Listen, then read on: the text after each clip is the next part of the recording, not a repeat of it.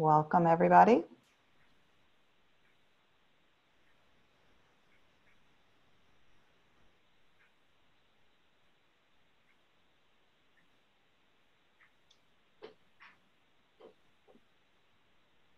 Okay, uh, I think all of my colleagues are here with me. Uh, welcome, good afternoon. Uh, welcome to the AAAS mini case webinar on science and technology policy during COVID-19. I am Joanne Carney, AAAS's Chief Government Relations Officer, and we are all so excited to have so many of you join us for the next two hours. Uh, there are over 700 people that registered, um, and we know that you all are very excited to learn about the role that science plays in policymaking and how the pandemic has impacted the way we advocate. The COVID-19 pandemic has demonstrated the vital role that science plays in tackling global challenges and decision makers are looking to science for solutions. Uh, there's a reason why Fauci, uh, Dr. Fauci is now kind of a meme and, and uh, you know, incorporated into Saturday Night Live. Um, science is, is taken seriously. And at the same, but at the same time, our research institutions have had to shutter portions of their campus and the path to reopening our universities is still uncertain. And though this has dramatically changed the way we live and communicate with one another, the future of research and education, it is still vital to remember that scientists just like you have a voice in the decision-making process. So we're very excited to be having this webinar. It's the first of what we hope will be many.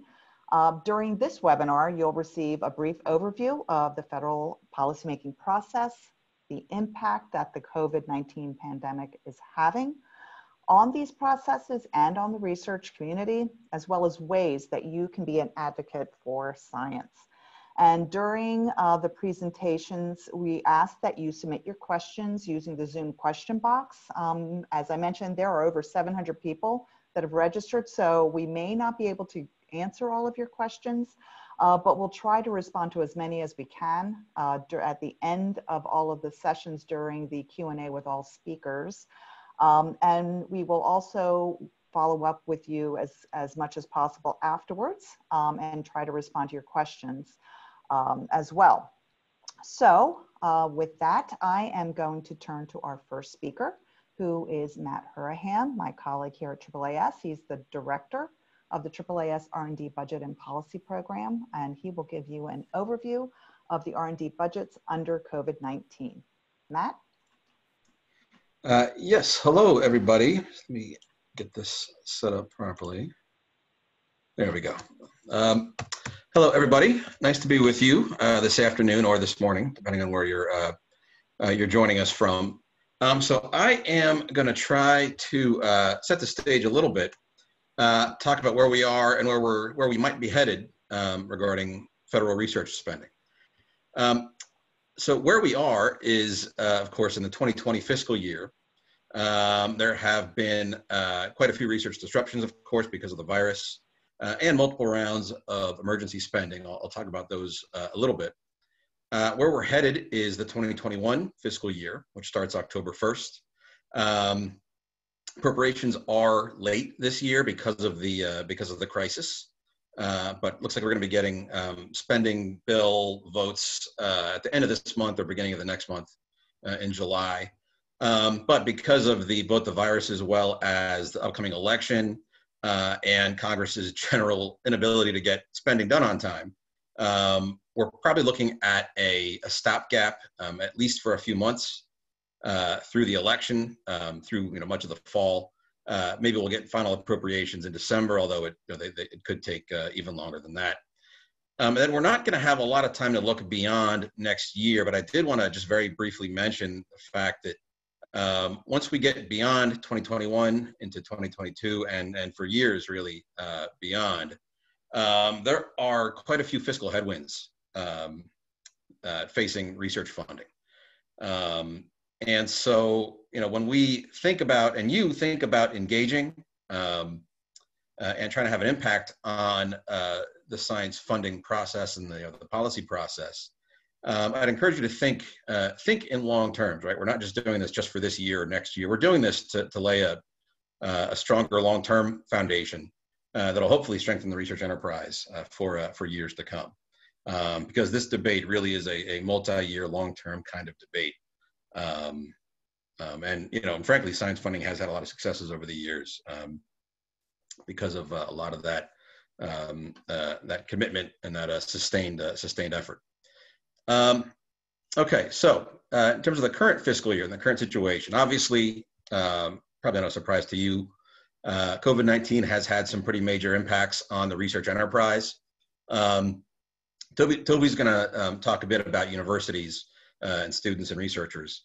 Uh, but on the federal agency side, um, there have been substantial disruptions. We've had uh, agency closures, uh, federal lab uh, we've had you know suspended or, or delayed projects. For example, uh, NASA suspended work on the uh, Jim Webb Space Telescope uh, and is likely going to have to postpone or push back its launch date, which was uh, scheduled for early, I want to say, I believe it was March 2021. Um, that date's going to have to slip because of the virus. Uh, we've had, you know, travel cancellations, conference cancellations, um, and even where work can continue, you know, say via telework. Obviously, that, as I'm sure we're all aware, can uh, can affect efficiency, productivity. Um, and it's also meant additional costs for uh, for federal science agencies and federal labs. Um, you know, for example, some labs have had to take on increased uh, janitorial services um, to increase, you know, cleaning or decontamination uh, to avoid uh, spreading the virus. Um, you know, it has meant uh, additional and unplanned investments in, say, IT infrastructure or other infrastructure to, to allow telework. Um, you know, it's it's has meant delays in uh, you know in uh, uh, um, or, or, reduced um, availability of, of, of equipment um, uh, and uh, you know perhaps delayed maintenance or or, uh, or upgrades. I read an interesting um, uh, kind of humorous anecdote about a, a, an American physicist who's overseeing an upgrade to a particular piece of equipment at CERN in in Europe in Switzerland. And um, uh, and uh, and this physicist was was was supervising um, the, this equipment upgrade and installation over Zoom. And so the technician in Europe would do a little bit of work um, to install, you know, a part of this equipment, and then have to stop and point the camera at what uh, what what he just did, and then the physicist would would see it and they'd talk, and then they'd do a little bit more work, and then stop and go back to Zoom, and and, and so on. So you can imagine, you know, that kind of uh, activity and those kinds of slowdowns can really have an impact on uh, on costs. Uh, and so there, you know, the, these kinds of things and, and having to shut down and start up equipment, all of it can can can add up to pretty substantial um, unplanned costs for federal agencies uh, and federal labs. Uh, so in response, not just to try to address the virus directly, but to help agencies and labs um, bridge the gap and manage the transition, uh, Congress has so far adopted four rounds of uh, emergency appropriations. Uh, smallest was about $8 billion. Uh, largest, uh, the CARES Act, was uh, net, I believe, 1.7 or 1.8 trillion dollars. cumulative spending has been about $2.4 trillion net. And that's pretty big. The federal budget annually is about 5 trillion. So, you know, we've increased federal spending by about 50% this year alone uh, and we're probably not done yet. So that's pretty remarkable. Um, in terms of the research spending that's been provided uh, in uh, in these appropriations, you can um, you can see some of the numbers here. Obviously, the big expenditures have been billions for uh, you know viral research at NIH, um, uh, 7.5 billion for CDC, uh, also 6.5 billion for BARDA. That's the Biomedical Advanced Research and Development Agency. Uh, they're responsible for vaccine uh, development and acquisition. Um, in addition, you know, some of that money is going towards uh, uh testing technology and, and a lot of other uh, things associated with the with research and response. But in addition, Congress has provided millions for several other agencies. Some of those are listed here. And a lot of this funding has actually been for for simply simply helping labs transition to kind of this new normal and dealing with some of those unplanned costs that I mentioned. Um, so obviously there has been uh, quite a bit of an appetite in supporting research uh, in previous rounds of, uh, of, of, stimulus and emergency response. Uh, and that, that appetite is still there. Um, Senate Majority Leader uh, McConnell has said that there's going to be um, one more round, probably no more than one more round of uh, emergency spending. Um, but I, you know, I think most folks uh, understand there's still an appetite for uh, for another round. Um, House Democrats have already uh, thrown their uh, uh, or, or, taken their the first bite at the apple, so to speak, by passing the HEROES Act a couple of weeks ago. this is a huge bill. it's about three and a half trillion, so you know larger than the previous response combined. Um, uh, contains a lot of different things. It's most likely dead as it's currently written in the Senate, um, but it does contain billions more for NIH, plus funding for uh, NSF, the Census Bureau, um, EPA, U.S. Geological Survey, and some others. So uh, there's definitely still quite a bit of appetite um, for uh, securing research support in the next round of stimulus. When that's going to happen and what that's going to look like, it's still to be determined. Um, but there is an opportunity here to, to secure some uh, some additional support for, uh, for the research enterprise uh, in response to this, uh, this current crisis. Uh, okay, so that's the current fiscal year. Uh, looking down the road a little bit to 2021 appropriations. So what, what is typically supposed to happen in a normal budget process is that the White House releases its budget uh, in February, and then Congress starts uh, uh, knocking out spending bills, say in late April uh, or May, and they operate on uh, on the and they vote on those spending bills throughout the spring and summer. Um, and if things are operating as they should, they get everything finished by October 1st. Now they haven't actually gotten spending on time in over 20 years, uh, so you know keep that in mind. But that's how it's supposed to work. Um, now this year, the White House did get its budget out uh, uh, roughly on time in early February. Um, that budget once again makes pretty steep reductions, cuts billions out of the federal research budget. It's also mostly dead, as uh, as every uh, science budget to come out of out of this White House uh, has been for the past few years.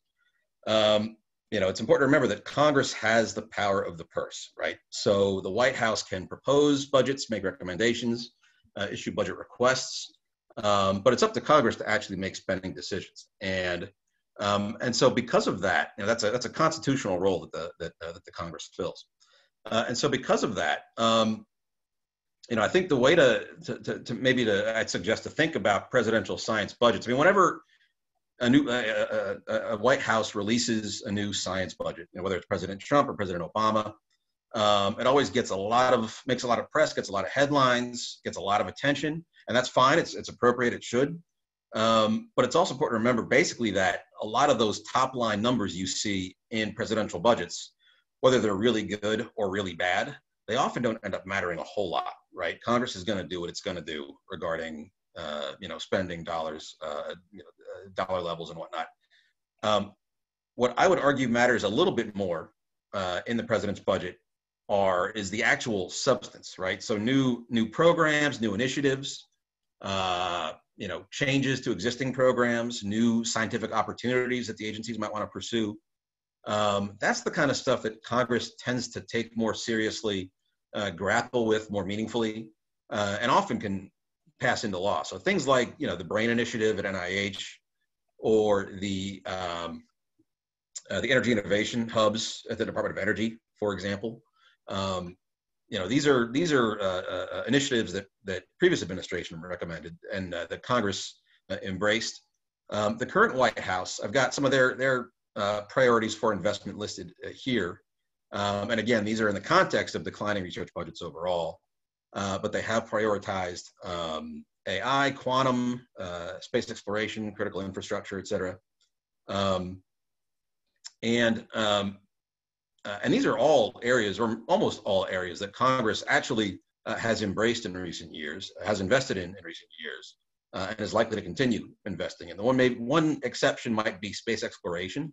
Um, the White House I think the price tag for um, uh, for their space exploration plans, I think, is about three and a half billion uh, in this year's budget. That's a lot of money, um, and there's a lot in Congress who, there are many in Congress who, you know, have some questions about whether that's that's really affordable or not. Um, so, you know, something to keep in mind. Um, but otherwise, again, a lot of these these areas that you see listed here, um, you know, are probably areas that that Congress is going to have uh, uh going to be able to find common ground with the White House. And of course, Congress has um, other priorities as well. Uh, in terms of timing, uh, I think I mentioned earlier, we're, we're, we're probably looking at votes um, uh, end of this month or early July. In fact, just uh, I believe it was this morning, uh, um, Nita Lowey, the chair of the House Appropriations Committee, said they're actually going to start their votes uh, the week of July 6th, so right after the July 4th holiday. So, um, and they're going to be voting in July, and it sounds like it's going to be an incredibly busy month. Um, but again, we're not. It's going to be a longer process. Appropriations probably finish up, you know, hopefully December. That's I think that might be the optimistic scenario, uh, but we'll see what happens. Uh, one of the big issues this year is that there is limited room under the spending caps, and I think some of you may be familiar with this, uh, you know, with this topic. Uh, these caps have been in place for almost a decade, and um, Congress is making some changes on what's counted towards the caps. Uh, uh, if they make the changes that I think they're going to make, it looks like we're going to have a year-over-year increase in the spending caps of about 2.5%, roughly, give or take. Um, and you know that's that's not a lot of room. Um, it suggests a, a tight year. Um, it's a larger increase than it could have been, um, but two and a half percent. You know that kind of an increase. It's only about it's a less than the what twenty billion dollar increase or so. Um, so that's just you know not a lot of room. Congress is probably looking at some tough choices.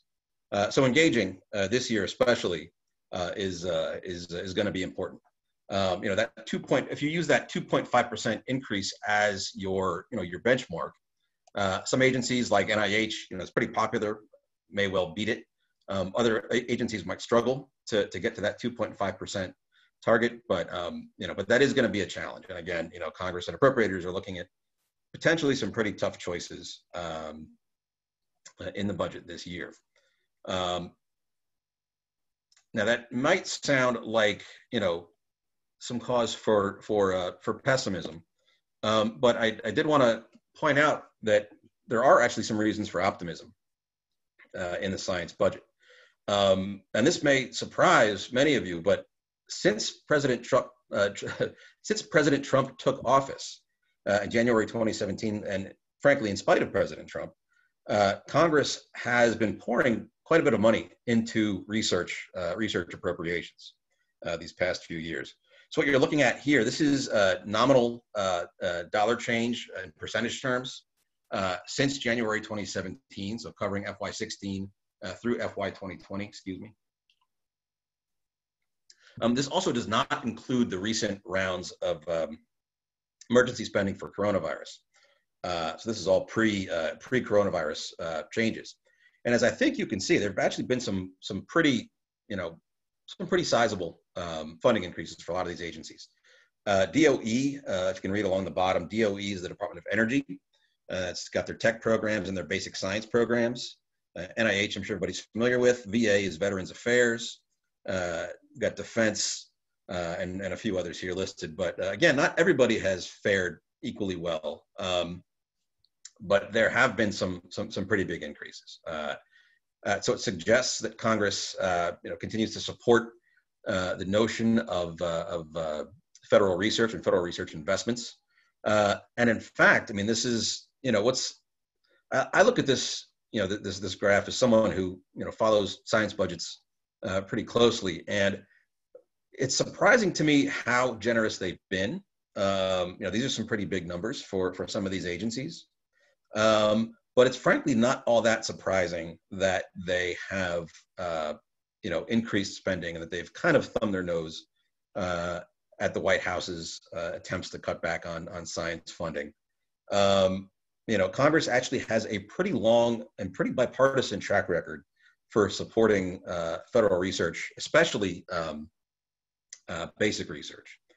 Um, and, and again, that you know may surprise some of you, but if you look at the data uh, and you break it down, there's several of the basic science agencies, especially, have actually done pretty well for for a long time. Um, and why is that? Well, there's a lot of reasons, um, a lot of factors that can influence uh, science spending, science appropriations.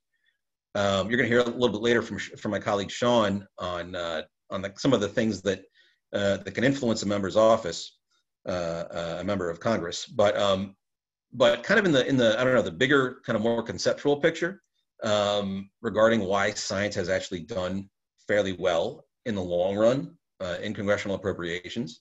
Uh, there's a couple of kind of big, you know, big, big motivators I might point to. Uh, and this will be the last, last slide I show you before I turn it over to, uh, to Toby to talk about universities. Uh, number one, probably the most important um, factor is the fact that all politics is local, right? This is probably something some of you have heard before. Uh, it's as true for science spending as it is for you know any other part of the budget, really. Um, and what it means simply is that uh, legislators come to Washington, they're, they're, sent to Washington by their voters, by their states, by their districts, uh, to try to do right by their states and districts. Uh, and uh, on funding matters, uh, they often do. So it's not a coincidence that some of the biggest champions of science and innovation programs in Congress, you know, maybe they have big universities in their districts or national labs or federal agencies um, or you know high tech industry that may rely on some some portion of the uh, of the federal uh, research enterprise. Um, you know, so so that's a you know a very real um, very real influence, a very real fact when it comes to, to funding questions, and this can manifest in some interesting ways too. Um, you know, for example, you can have you know very pro science legislators who may vote against certain you know big science projects because they don't feel that those projects uh, help the science community in their own states or districts. Um, you know, we saw that with the superconducting super collider, uh, 20, what 20 over 25 years ago now, I guess. Um, you know, a lot of the voting patterns on whether to, to fund that, um, you know, that new particle collider or, uh, uh you know, to fund it or defund it uh, a lot of the votes ran along uh, regional lines. Um, energy R&D is also a very, can be a very, very regional uh, topic uh, and funding area. Um, so for example, it's not uncommon to see, you know, if you've got, let's say you've got a, you know, a fiscal hawk um, who's, you know, generally in favor of smaller government, opposes a lot of federal, you know, technology or applied, uh, applied research programs um, if that you know if he or she comes from a district that has a lot of say wind energy or a lot of fossil energy resources um, you may see them uh, try to secure you know maybe through an amendment or something else uh, try to secure extra funding for federal r&d programs uh, in those areas even if generally they're not really in favor of uh, those kinds of programs you know in a, in a broader sense um, uh, and you know in addition i'd also point out having kind of a you know one of the interesting um, uh, findings in the literature is that, and this was actually from a study published in Science Magazine about a decade ago, I think. Um, a, when a, a, when a state or uh, or district has a uh, member of Congress on the appropriations subcommittee for NIH, uh, on average they end up getting something like three or four percent more uh, from NIH uh, in, uh, in grant funding per year. So, I mean, there are some real tangible benefits to having appropriators on the appropriations committees. Um, but there's also matters for the authorizers. And I think, again, you're going to hear more from Sean about the difference between those two. Um, but, you know, no member of Congress is, uh, you know, is, um, you know, is, uh, you know, it, this, this idea of geographic importance applies to, to everybody. Um, so that's one factor. The other one is public interest. Um, and you know, it's I think it's often easy to get to, to be a little cynical sometimes. Um, but one of the big motivating factors for many champions of research funding in the Congress is public interest. Um, Congress has a longstanding uh, interest, for one, in public health. Um, NIH has done really well. Uh, in fact, NIH, since about 1980, NIH has uh, roughly doubled its share of the discretionary budget. Uh, and that, again, is an indicator of uh, long-term congressional support for for medical research. Certainly, that's even more important now uh, in this era. In addition, national security has for a long time been a one of the drivers um, underlying uh, support for research, uh, and increasingly lately, um, competitiveness is a you know, has been a big topic. It's not uncommon to see appropriators put explicit language calling out uh, you know the competitive threat from China in their appropriations reports um, you know, as they, uh, you know, seek to plus up an NSF, let's say. Um, so, you know, and so th- these are issues that uh, legislators do take seriously. Um, you know, so if a legislator can help their district and help the broader, uh, you know, the nation, of course, that's kind of a, a win-win. Um, The one thing I'll say, I've got a, a phrase here, appropriate role. That's an important one to kind of keep in mind. Um, one of the big cleavage, cleavage, cleavages in um, federal research debates is over what is the appropriate role of government, right? Um, there's a lot of conflict over, often a lot of conflict over, well, I mentioned earlier, applied technology programs. Um, you know, you know, fiscal conservatives often argue that programs that focus too much on technology are treading on ground better left to industry. Um, and whereas you know Democrats tend to to, to feel differently. Um, when it comes to basic science, there's actually a lot more agreement. And again, this may surprise some of you, but there isn't a huge amount of um, you know space between the parties uh, when it comes to to fundamental science. Um, everybody kind of sees those as important, uh, uh, both both as appropriate an, an, appropriate thing for government to do, um, and there's also a lot of folks who recognize the value that that, that basic science um, brings. So that's just that's just sort of a, a, bit of bit of situational awareness um, that may be helpful uh, uh, as you think about uh, science spending. But again, you know, take these two factors: all politics is local, uh, as well as uh, public interest. Uh, add those to the fact that appropriators just like spending on stuff anyway, and that explains, I think, a lot of the success in the long term that that, that um, research funding has had in the context of a what has not always been an easy uh, budget environment. So uh, I'm going to wrap up there, turn it over to Toby, uh, who's going to tell you about uh, the impact of COVID-19 on universities. Uh, but I did want to say quickly, um, my, uh, my info is here. check out our website, the budget program's website, AAAS.org slash RD. We have a lot of information there. Um, historical data, interactive dashboards, analyses, things like that. also, my Twitter handle is there. I'm, I'm fairly active, so you can tweet at me uh, if you must. So, uh, and uh, with that, I'll turn it over to uh, to Toby. Thanks, thanks, Matt. Uh, let me see if I can get my slides up here.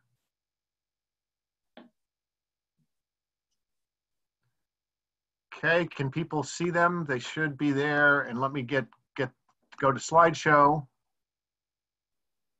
Okay, um, so I'm pleased to be with you to talk today about what we are seeing on university campuses in terms of the impacts of the pandemic. And then I want to relate those to maybe some broader historical information about science policy and, and then what, what policy issues are really at the fore right now that we are working on related both to university uh, research policies as well as, as uh, overall uh, science policy. So um, when I normally give this talk, I start by talking about what science policy is. I'm going to spend a lot less time on that today because I want to get into the real issues we are facing and then what policies we feel we need to help us address the challenges. But, you know, let's, so I, I do want to re remind people that science policy really is are the rules and regulations, practices, the guidelines under which scientific research is conducted, not to be confused with uh, science for policy, which means that science has lots of other impacts and, and affects other policies. And right now we're seeing that uh, because it is scientific information that is driving many of the public health decisions that are being made. And so it is important to note that that is health policy for which science plays an important role. So I just want to distinguish the two, but there's often, you know, there's an interaction between them and you need to recognize that. Now, the other thing, if you heard my longer talk on this before, you know that I'm a big believer that it's important to understand the history. Where have we been in the past? Harry Truman once said, there's nothing new in the world except the, except the history you don't know. And so as we look at science's role today, it is worth going back in history and looking at science's role historically. So I like to go back to a time, I actually, like to go back before World War II, a time when the federal government didn't support a lot of research. Uh, our, our, the universities I represent at the Association of American Universities didn't want uh, federal funding to come from uh, the federal government. They were worried that if they took federal funding, the federal government might tell them what they would have to invest in. So uh, there were a few exceptions. Uh, of course, during the Civil War, we created the Land Grant College, the Land Grant Act, uh, the Morrill Act, and that created land grant colleges, and they had a public responsibility to get agriculture research out into local communities. And so the federal government funded agriculture research, it funded some aeronautics research. But um, up until, you know, after, through the Depression, uh, you know, a lot of the money for universities came from big philanthropic uh, moguls, uh, the Carnegies, the Rockefellers, the Mellons. They're the ones who supported research. Now, that started to change after the Depression. Money started to dry up, and along came World War II. Um, and a guy named Vannevar Bush, and he is pictured there. Vannevar Bush was a conservative engineer from MIT. He was recruited by Franklin uh, Roosevelt during World War II to come and help lead the science efforts for the Department of Defense uh, during the war. He believed strongly in the importance and value of, of, of science and the role that scientists could play in helping with the war effort. So much so that he really convinced universities to start uh, taking federal money and, and actually doing research uh, for the federal government. He also believed that it was important to keep scientists at their universities, not to bring them all uh, to national laboratories, but uh, but that scientists working at universities also help train the next generation.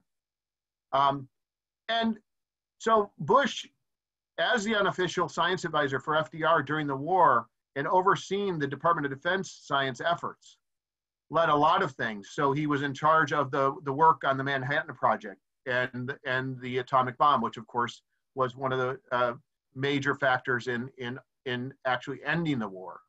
Uh, but there are other things, health advances, uh, blood substitutes, and, and the like, and um, and and advances in radar, advances in precision uh, um, precision guided bombs. All those things were so valuable to the war effort that, as the war wound down, Franklin Roosevelt asked Bush to think about what could we do uh, to extend the value of science into peacetime, and and so Bush, um, in 1945, submitted a report to then Harry Truman, who, of course, Bush, uh, uh, uh, FDR had passed away by that point. Um, but this was a report that, that FDR had asked for. And it talked about, and, and Bush believed that science should and had to play a role in solving other societal issues related to health, related to de- not, uh, defense, and economic well being. And so Endless Frontier really was the basis for the creation of the National Science Foundation. There are a lot of debates that occurred in the five years it took to pass the bill that created the NSF. Issues about um, how do you distribute funding for science, um, where Bush believed it was based upon the best science, but other folks in, in Congress believed that maybe you should block grant and give it to each, a little bit of science money to each state. Bush won that debate. It's why we had the peer review system we do. But the history is really important because Endless Frontier really said that science could help solve national problems and, and created the NSF uh, and, and really has been the basis for our science policy going forward. So I want to leave you with that thought. I'll come back to it at the end. Now, let me get into talking about what we're seeing in terms of current challenges on our university campuses as it relates to um, uh, COVID 19. And then I'm going to talk about how we're trying to address that through real actions and promote policies that help us address these challenges. So the first thing I just want you to know that isn't, as I talk to our university presidents, our vice presidents for research, and all our administrators, at the top of their, um, you know, driving everything is trying to ensure public health and safety. That means the safety of our students, the safety of our faculty, and remembering that our universities not only they're not islands unto themselves they reside in communities and when it comes to covid-19 if we bring back uh, you know 50000 students onto a campus. That can have an impact on the community. It, you know who runs the hospitals? Does the university run the hospital or are they community hospitals? And if you have a spike and you have a number of cases that can flood and overwhelm the community and you can have an outbreak. And so we're very cognizant of that. Um, when it comes to research, one of the most important things that, so, so um, back around March, you know, uh, basically a lot of classes went online and a lot of research programs were, were halted. and only essential research was continued. Um, now, a lot of research could be done from you know faculty at home. They tried to do that and graduate students, and, and many were successful. Some campuses fully shut down research operations except for non-essential research, much of that being COVID-19 related research. But one of the issues that we immediately faced was if we are not, if there's a slowdown in research grants, how do you pay people off those research grants when they're not able to do the, the research that they're that the, the grants have for them? And it's an ongoing issue, but immediately we got some regulatory flexibility that allowed grad students, postdocs, and researchers to be paid off grants, even though the research was slowed. I'll talk more about one of the challenges with that, though, that we're now facing because the research is now restarting and uh, we'll have to figure out how to pay people to continue to do the research, but the budgets that were allowed in grants may not be enough to do that.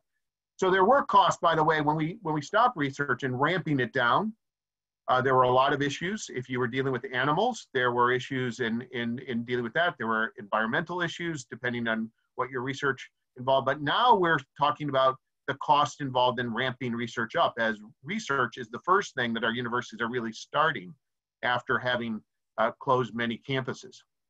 Um, we have a lot of core facilities that support research off of grants, uh, nano fabrication laboratories, 3D printing laboratories, clean rooms, animal research facilities, and often those are paid for off of fees off of grants. The work there has been stopped because the work on the grants wasn't happen, happening. One of the one of the big challenges in getting research going again is paying to get that to get those core facilities back up and running.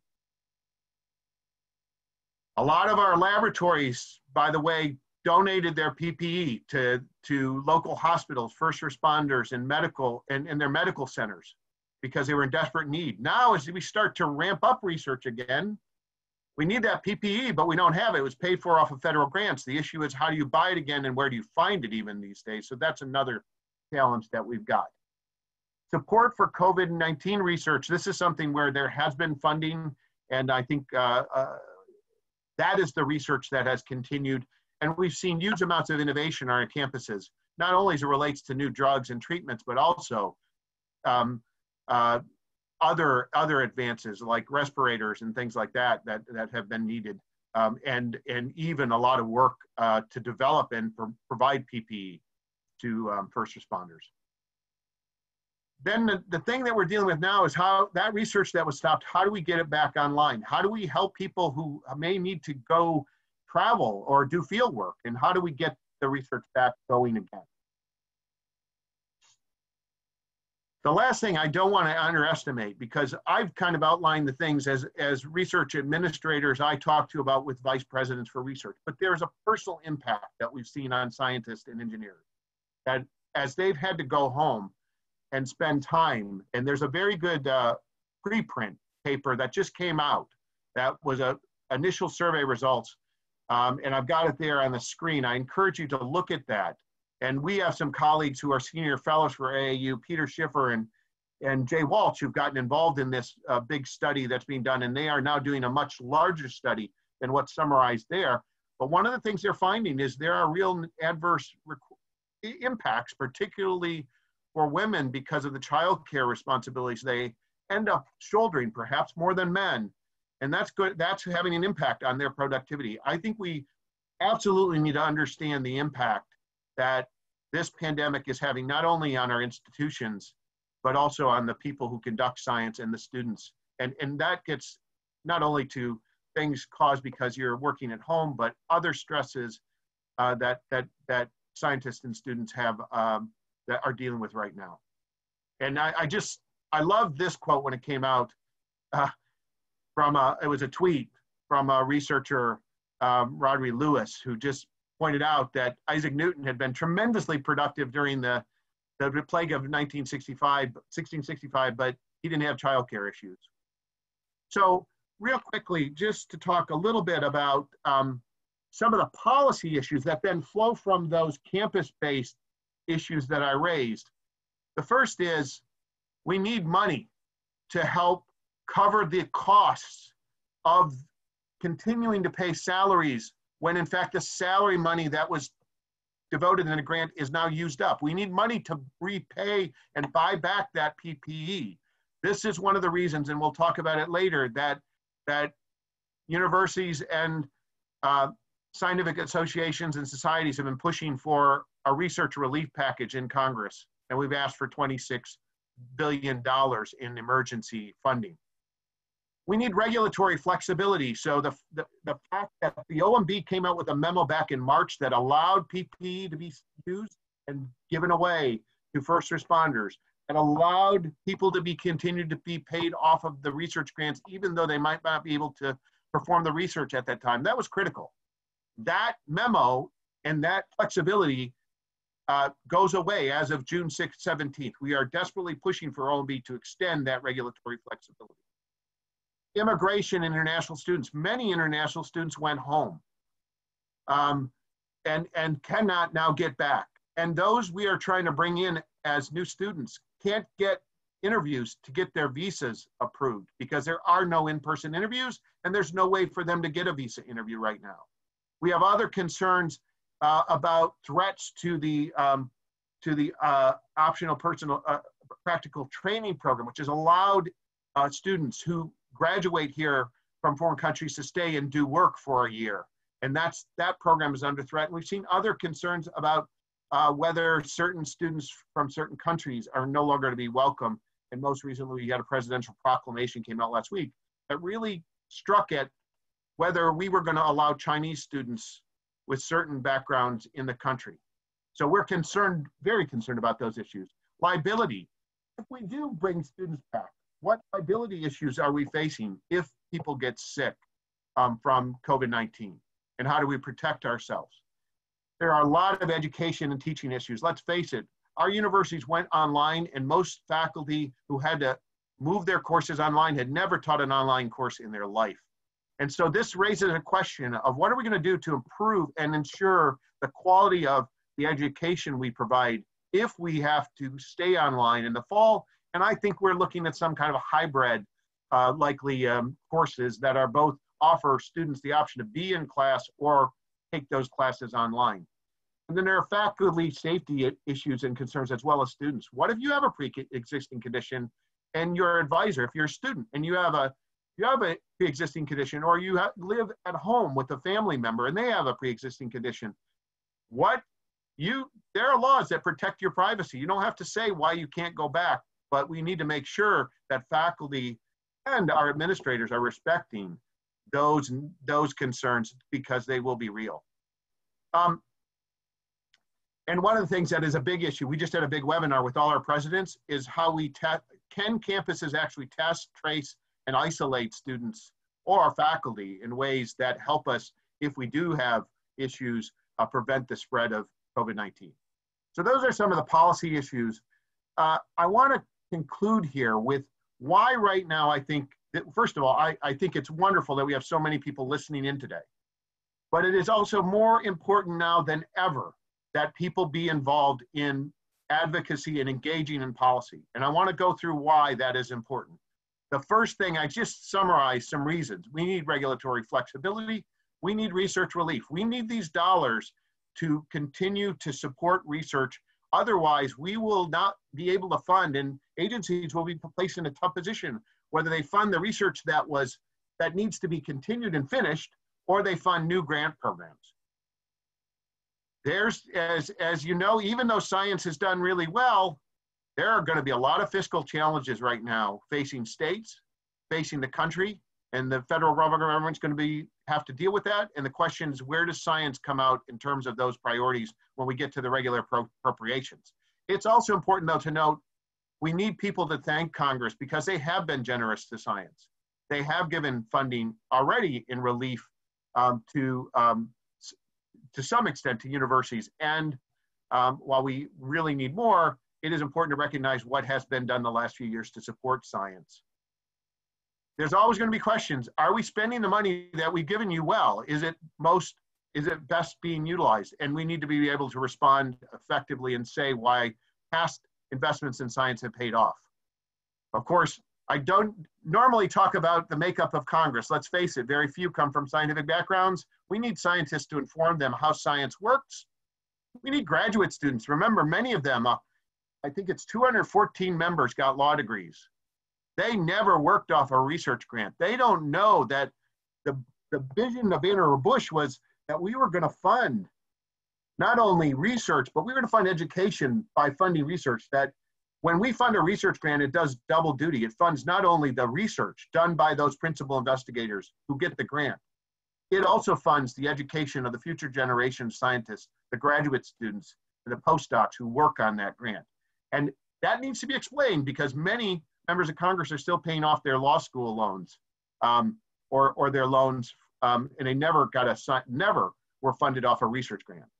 We want to prevent laws, regulations that make it hard for scientists to do their work. We want to prevent new requirements that inhibit and harm our ability to do what we what has been a hallmark and one of the reasons we're such a great scientific power in the world and that is we have been able to attract because of that vision that bush laid out the best and brightest students to come here because they want to work with the best scientists in the world. They get a chance to do that. If we have immigration policies that discourage them from coming i worry about our future and our ability to support the scientific enterprise. We want to help science we want to help shape policies based upon facts, based upon science, and particularly as it relates to what we do with public health, we want science to be involved. And that's why people like Tony Fauci and the role they are playing is so critical as we deal with this pandemic, that they are getting out real facts, not alternative facts. And the last thing I just want to say at the end of the day, just like science came to help us win the war in World War II and was critical at other key junctures in our history. It's going to be the thing that helps us get out of this and saw and, and meet the challenges of the pandemic. I don't know if you've seen it. There's a, there's a great Pfizer ad that's running that says science will win. And if you haven't seen it, it's worth looking up on YouTube. I think they did an excellent job. But Stephen Hawking once said science will win because it works. And we need people to advocate for science who know how science works, who are involved in science, who can make that case and that's why it's really important that you're here and participating. So with that, my contact information is there, and I'm going to turn things uh, turn things back over. Thank you so much, Toby. Uh, we've been getting a lot of great questions, and one was about the uh, about whether we would make the slides available, which we will. Um, and so we will we'll follow up with you all with with uh, where to uh, get copies of the of our presentations. We'll probably be on the AAAS website. So um, thanks again. Um, so now we're going to kind of shift gears. You've gotten a lot of background information with respect to uh, the budget, uh, the impacts of the budget, um, and the outlook, as well as the impacts of COVID on the research enterprise and the outlook for that. Now we're going to start sh shifting gears into giving you a little bit more of a sneak peek into how Congress is structured and uh, leading into different ways that you can communicate and the important voice that you all have in that regard. And so I'm going to turn this now over to my colleague, Sean Gallagher. Sean? Thanks, Joanne. I'll go ahead and. Okay, so just by way of background, uh, well, first, thanks everybody for joining us today. We were really happy that we were able to do this. Um, by a, a, quick way of background, uh, I'm going to talk about kind of practical ways that you communicate with Congress, and especially during a time like this. So my background is I used to work on Capitol Hill for about eight years. I worked for five different members of Congress spanning the country, and then I have had the privilege of working at AAAS for a little over five years. So advocating science, communicating science, uh, science for policy, and policy for science. And so we'll get into the ins and outs, but this is more of a practical approach of what it's like to communicate with Congress, how they operate the way they do, why they operate the way they do, uh, and how you can intersect with them. So I usually always start off with thinking about what influences members of Congress. You know, I'd worked for five uh, in their congressional offices. I was always on the House Representative side, but I'd also worked on some campaigns uh, going around the district and, and meeting people and answering questions. Uh, and I like to give this kind of three main factors so that you can, as a constituent or as a citizen and a science advocate, understand what makes them tick and therefore be a better advocate. Because as we'll get to, there are going to be two components I give you to be to really be a, an effective science communicator. So, unsurprisingly, during this time, the number one thing that really influences a member of Congress uh, are the media and current events. Um, and that is mainly just because that's what influences all of us. Uh, Congress as an institution is an incredibly reactive institution. It is not so much a forward thinking one. And that's by virtue of how we were set up. Um, and so the media and the current events, uh, as everybody that's sitting here, you know, in this webinar rightly knows, drives a lot of what we do. So um, the reason I'm talking to you on Zoom is because of COVID. Uh, and that, of course, has disrupted everything. And that's what was the conversation until just last week. Um, and I will say to you, uh, for those you know that are kind of feeling sad and in despair, you know, I, I was in Congress during uh, the 2007 2008 financial crisis, and we got through that one. I lived through healthcare reform, um, through the troop surges in Iraq and Afghanistan. There are a lot of things that Congress in this country has dealt with. Um, it can seem very bad during the time, but eventually people prevail and we get through. I'm trying to send a, a more hopeful message in kind of like these disparaging times. But you know, I want to I wanted to put that out um, this is a really, really simple way to understand why sometimes if you're looking at Congress, to understand what it is that they're doing. Um, and this is large and small. So one of the last members of Congress I worked for was Rush Holt. He was the former CEO of AAAS, and he was a congressman from New Jersey. Uh, so to give you a very benign, small example, uh, Chris Christie, when he was governor of New Jersey, there's that thing about Bridgegate and, and traffic problems. And for the two months that that was a story, I think it was a very long time, that dominated everything that Rush ever did because he couldn't do anything without the media asking him about that controversy. And he hated it. He, he wanted to talk about other things. But the current events really drives how members do what they do about what constituents are asking them. And so it's very important to understand kind of what makes them tick, why are they doing the things that they're doing, and it's very reactionary. The second thing I like to always tell folks that influence members of Congress, and again, is an underpinning of maybe why they are acting the way that they're acting, is their values uh, and personal convictions. And, and a simple way I like to kind of demonstrate this is that folks forget when people are in Congress, they had to run for Congress. And when you run for Congress, you quickly realize, um, as any member, any candidate has ever done, that Congress literally deals with everything. It deals with potholes and stop signs and funding for transportation to troop levels in, in wars to pandemic response to climate change to funding health agencies to controversial issues like abortion and religious rights and all of this stuff. You start to understand as a candidate and you see most members do this they start to bifurcate. They start to say okay how, how do i compartmentalize my answers into values or in, into like a portal that makes sense for me. Um, and you see members do this. They start to say, okay, well, I might not know the specifics of the question you're answering, and, and I don't have a specific answer, but my values tend to say A or B. You know, Toby and Matt both touched on a lot of this harkens back to what people feel are the appropriate role of the federal government, whether they believe that the federal government should or should not take action.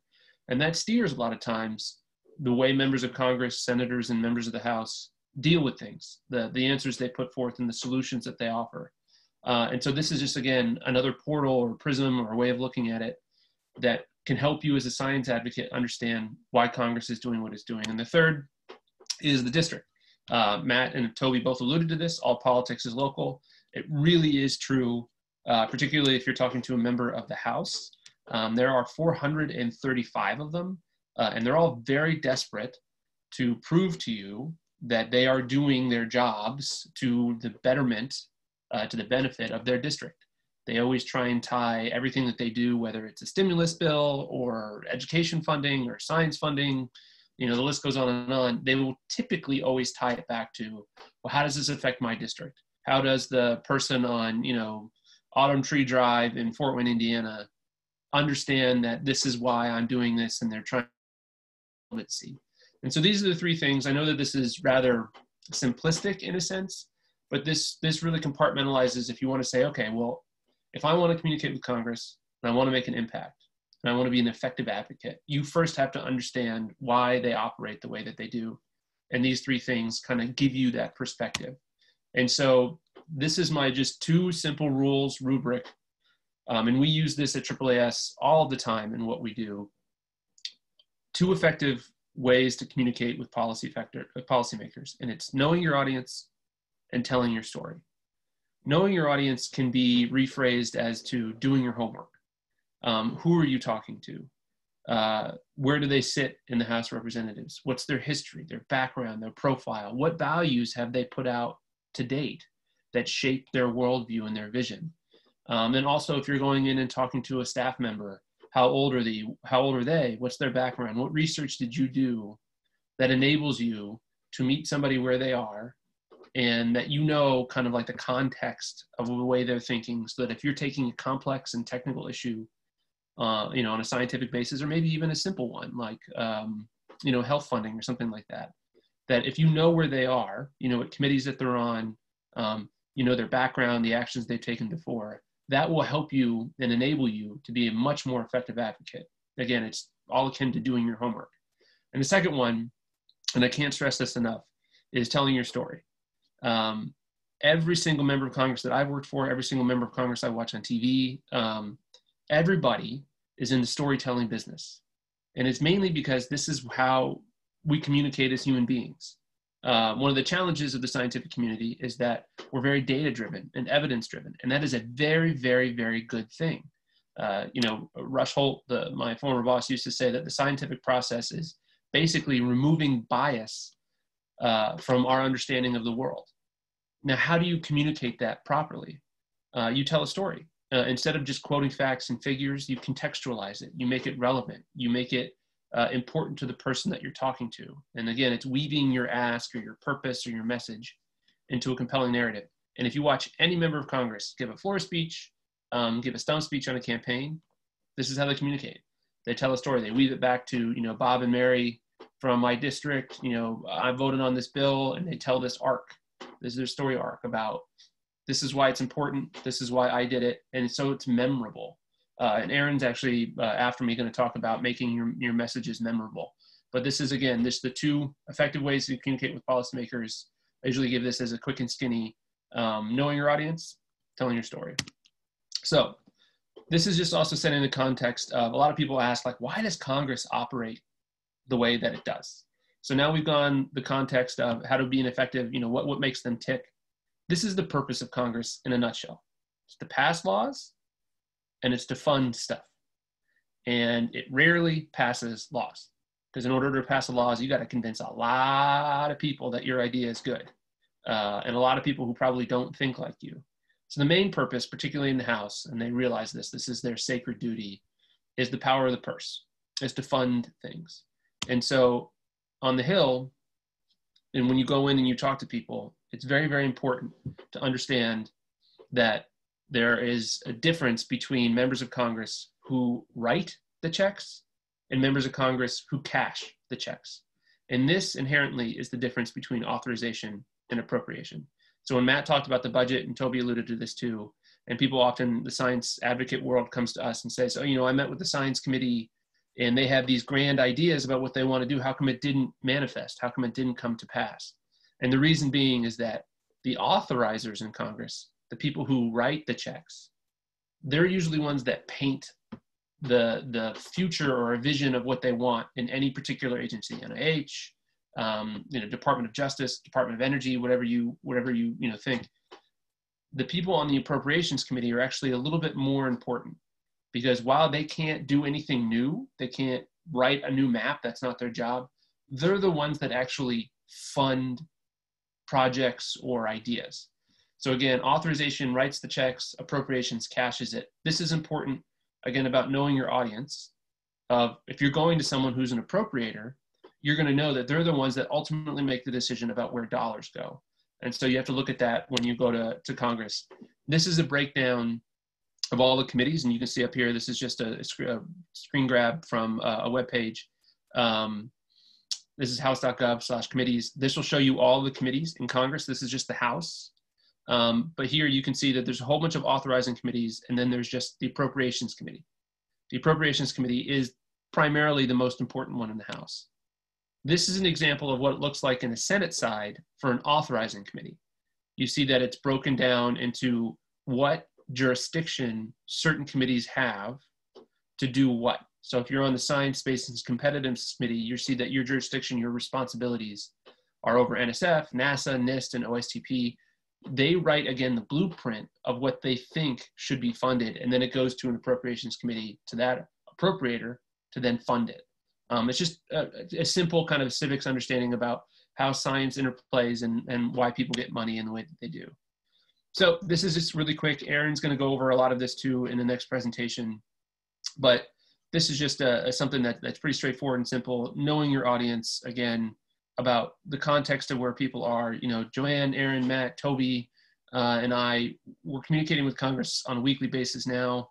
Um, the context is obviously very present uh, about how they're operating, COVID dominating everything, and now uh, you know the, the, George Floyd death dominating the media and the and the congressional cycle as we speak. It's just being respectful when you go in to know that staff and members that's what they're dealing with on a daily basis. I mean, I can only imagine I was there during the financial crisis in 2007, 2008, and that's all we dealt with from the 8:30 a.m. staff meetings all the way to the 6 p.m. staff meetings and everything in between. It was trying to figure out what credit default swaps are and, and mortgages. That shifts, and now everything is COVID, and everything is is the current state of affairs. And so, it's it, if you want to communicate science, if you want to communicate what's important to you, just be respectful and understanding kind of the lives and the context of which staff and members of Congress on Capitol Hill are dealing with it. Um, and here's a quick do's and don'ts. Again, these these slides will be available to you at the end, and this this entire presentation is being recorded.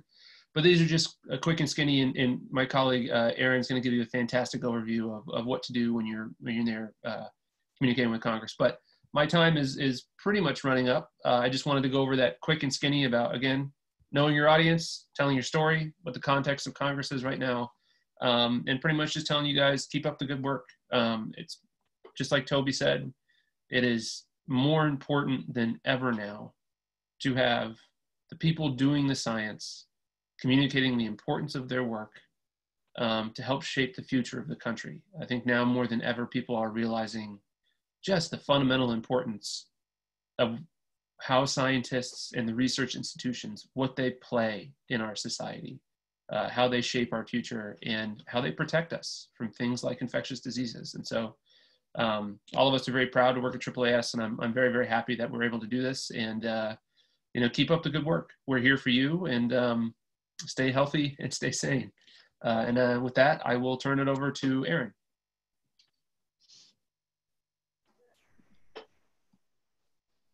Thanks so much, Sean. I will go ahead and share my slides now.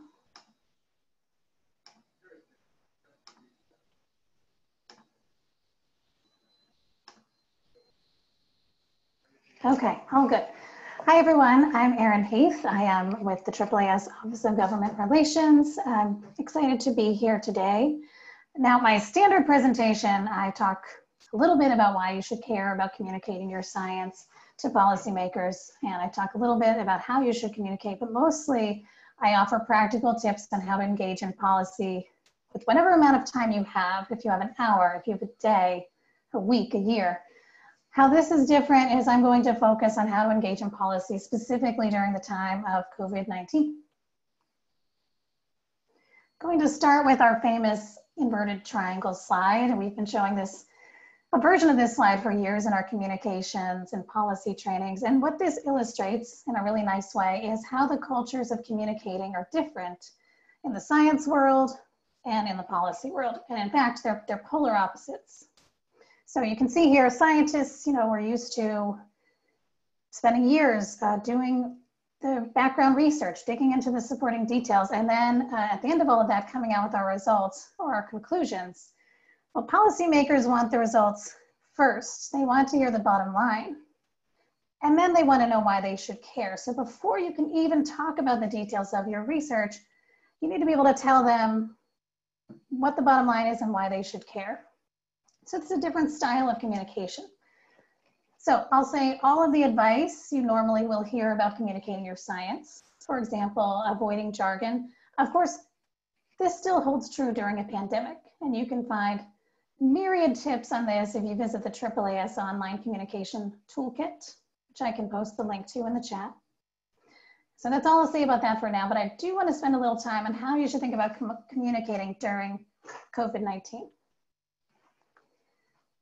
So when we teach science communication workshops, one of the things we suggest is coming up with three key points. Key points that serve as a foundation for what you want to say and guide your message. So when I thought about what I wanted to say about communicating your science now, I came up with three C's, context, coordination, and courtesy.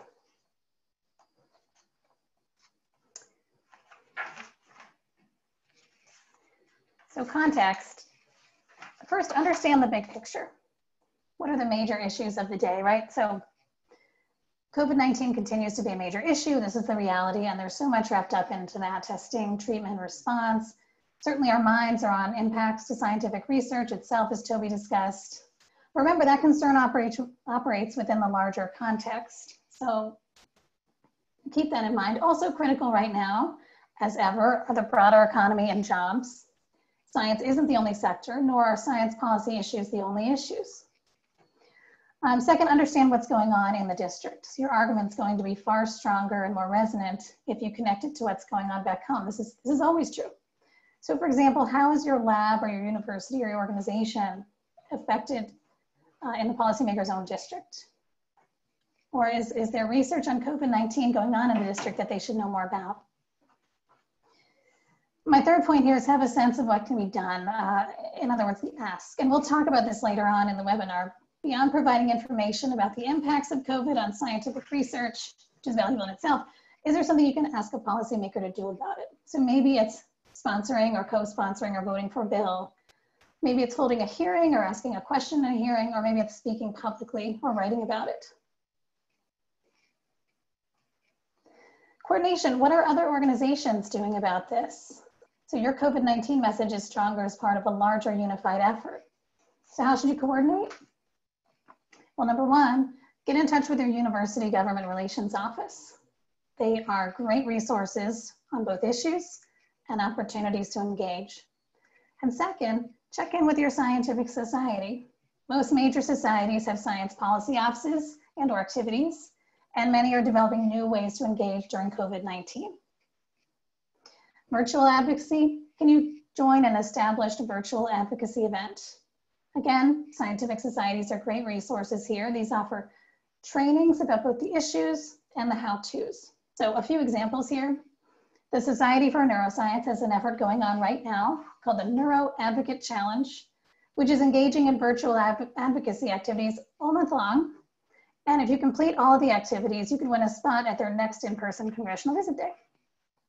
The American Geophysical Union has a program called Voices for Science. This trains scientists to communicate their science and engage in policy. This program also pivoted to virtual advocacy activities this year. And finally, the Consortium of Social Science Associations, which has an annual congressional visit day. They, they took their event, which is normally held in March, to a virtual event in April. So advocacy does continue. Social media, this has taken on increasing importance over the past decade. We have data that shows the usage of social media by US members of Congress jumped dramatically over the span of just a few years. It's a good way to get your message out and get it in front of policymakers, especially now over social distancing, right? so one example here, NSF, the National Science Foundation, just celebrated its 70th anniversary. And dozens of organizations and researchers and members of Congress helped highlight the amazing work that NSF does using hashtags like CNSF, NSF 70, and NSF stories. And finally, courtesy. Remember, policymakers are going through the same things you are, right? They have the same concerns about their health and the health of their loved ones. They're also adjusting to the sudden shift to working from home, and they're also worried about the future. Sean already talked about this, but uh, science is not entitled to funding, right? We have to make the case about why it's important. And this, of course, continues to be true now during the pandemic. And finally, all the usual rules of advocacy apply. Be polite, be on time, and listen to others' points of view. Now I'm going to talk about ways to engage in policy in a virtual world. Uh, and some of these are the same as I might say, say uh, in non-COVID times. Uh, but the first one is sign up for newsletters, right? This is a great way to learn about issues that you care about, and opportunities to engage. So I'll mention a couple that you might want to consider. One is that we, AAAS, have a newsletter for our members. It's called The Policy Alert. So every Monday morning, it's the first thing a lot of us do. We get together, we talk about the news of the week, and then we write about it. So if you are a AAAS student member, you can opt into this newsletter again. It's called the Policy Alert. Uh, our journal, Science, capital S Science, also has a fantastic policy blog. It's called Science Insider. Uh, and finally, again, check in with your scientific society. A lot of them have great newsletters and other kind of online resources. Uh, next, learn something new with the webinar. Uh, I already felt like there were a lot of webinars before. Now, now I feel like I can just spend all day, every day on a webinar. So I, I know there's a lot of competition out there. I want to thank you for being on our webinar.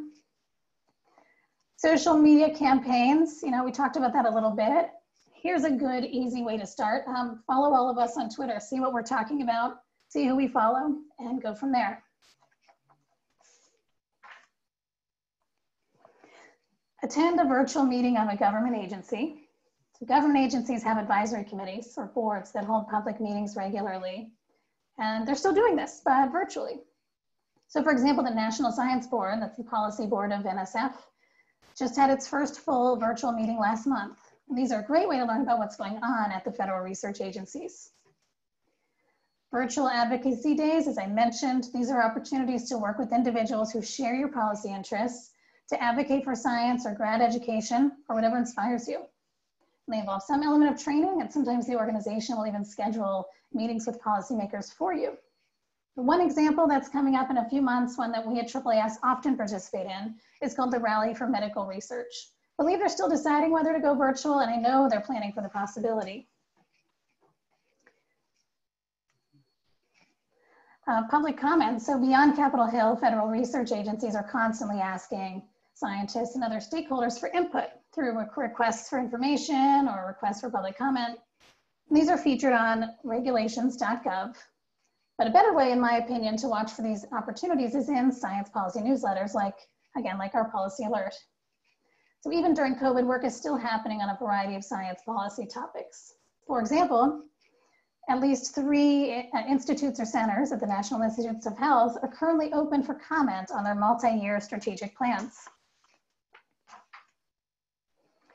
Next, connect, connect with organizations that have resources to share. And I'm gonna flip to another slide here. I'm gonna talk about some of these organizations that provide opportunities to engage or resources to help you engage the first one is one that's close to my heart.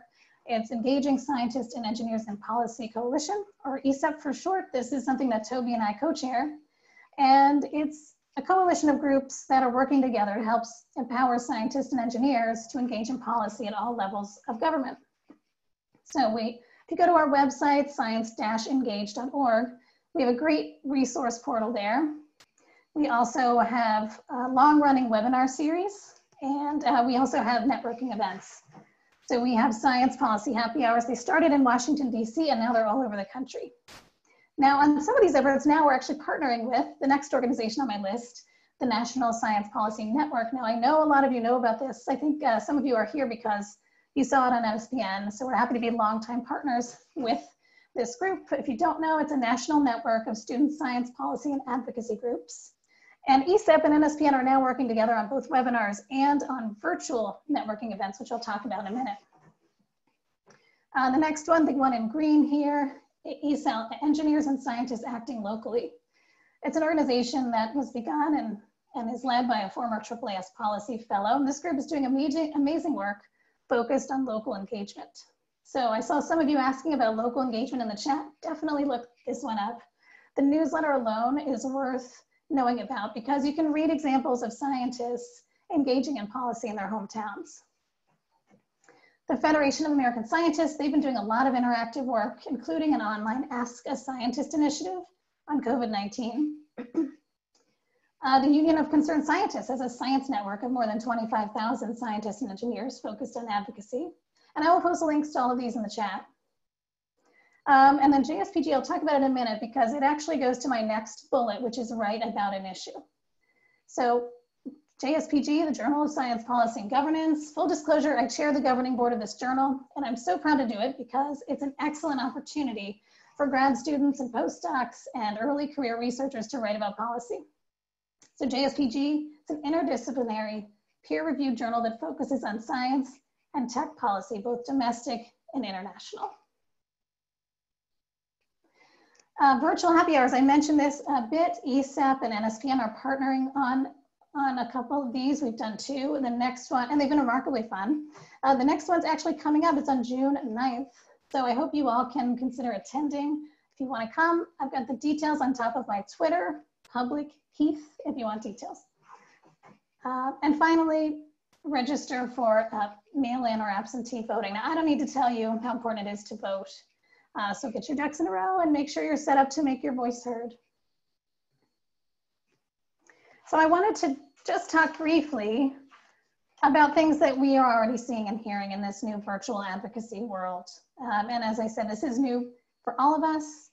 Many science organizations have had to cancel meetings at the last minute and or move in-person efforts to virtual efforts. Uh, so this result, COVID resulted in a sudden experiment in virtual advocacy. So certainly it's not the way anyone would want to make this switch, but the good news is early reports suggest that these virtual advocacy efforts are succeeding in terms of phone calls with congressional offices are happening. Sometimes on video, sometimes not. Also, participation is available to new people. So people who maybe wouldn't be able to travel to Washington, DC are able to do now do federal advocacy events virtually. Um, we also think, we've talked about this a bit already, we also think there's real potential for engagement at, on the state and local level. Uh, state and lawmaker, state and local lawmakers are in continual need for scientific expertise and advice. This hasn't changed. And federal lawmakers are spending more time in their district offices as well. So we have a few programs that operate on this level. And the one I want to flag is the Local Science Engagement Network. This is a program that we're piloting in Colorado, Mississippi, and Georgia. And I think the director of this program, Dan Berry, may be on hand to answer questions about this during the Q&A. So you'll hear more. Finally, uh, before I turn back to my colleagues, I want to draw your attention to a relatively recent new resource developed by a team of scientists led by American University. I was part of that team. It's a booklet called Evidence-Based Communication with Policymakers. And uh, these are tips developed from our research on both lawmakers and scientific organizations. I recommend you check that out. It's at the link here. And this is me. I'm always happy to answer emails. I'm also on Twitter and I'm looking forward to your questions. Thanks so much. Thanks so much, Erin. Okay, I'm now going to ask all of our panelists to turn their videos back on so everyone can see your bright and shiny faces. Thank you. This has been a great, great conversation, lots of great um, questions. Uh, we're going to talk a bit first, though. I'm going to share my screen. Uh, just about, um, let's see if I can find it. There we go. Just about congressional visits specifically. And then we're going to have, you know, go into the ask us anything part. So Erin's already kind of teed this up a bit um, about, and Sean, about how to approach having a, a, congressional a congressional meeting, whether it's a personal office or a committee office. In some respects, it's not that much different.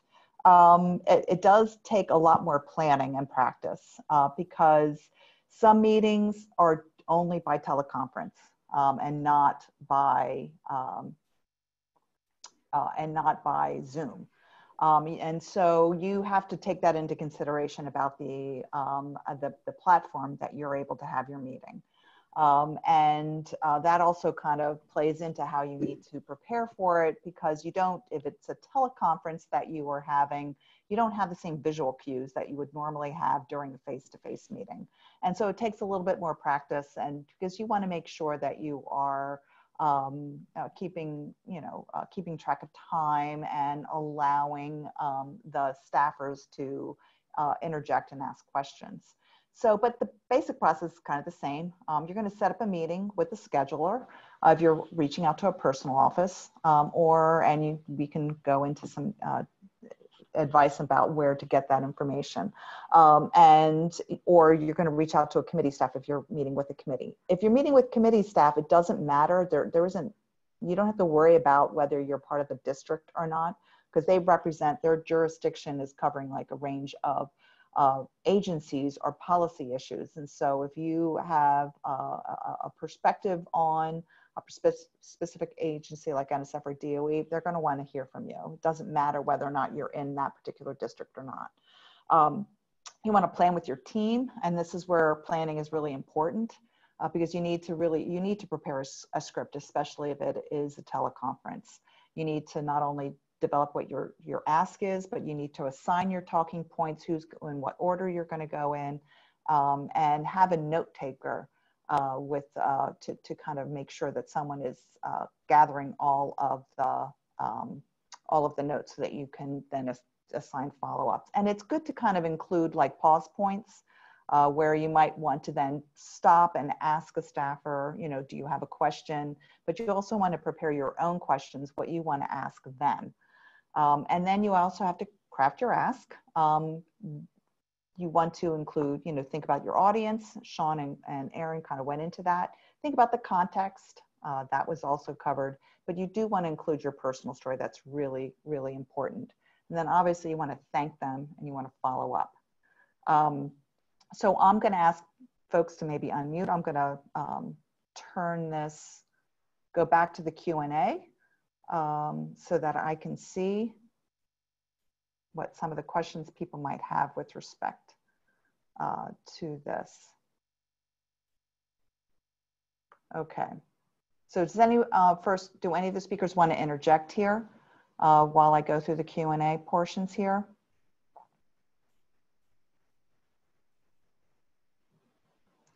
Okay, so so one of the questions that came up is, um, at a number of times we've said that it's important to engage as Congress is making difficult budget decisions. And what does that mean? Um, Congress is has a lot of budgetary challenges as Matt has outlined.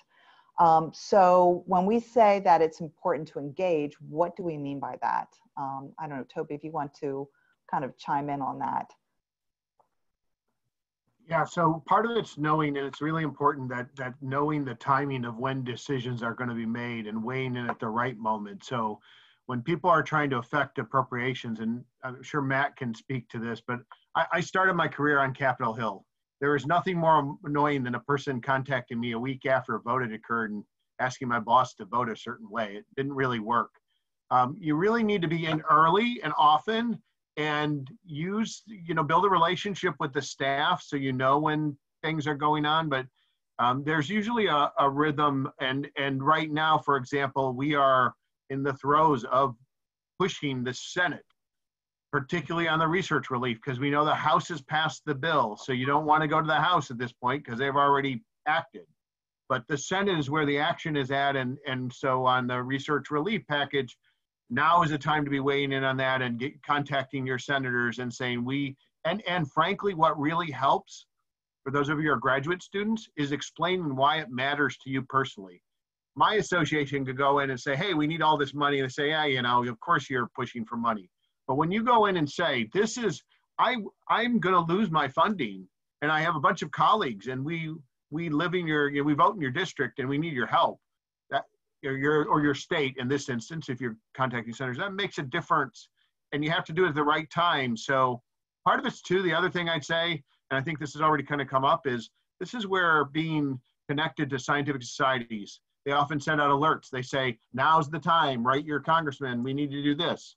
Um, we also know that um, groups like the National Association of Graduate and Professional Students and um, Student Advocates for Graduate Education, SAGE, they often send out alerts and get people, uh, uh, you know, notify them the right time to make those contacts. So I think that's what we're really talking about is, is you need to be timely, um, active, and know what to say, when to say it, and be direct in, in your comments.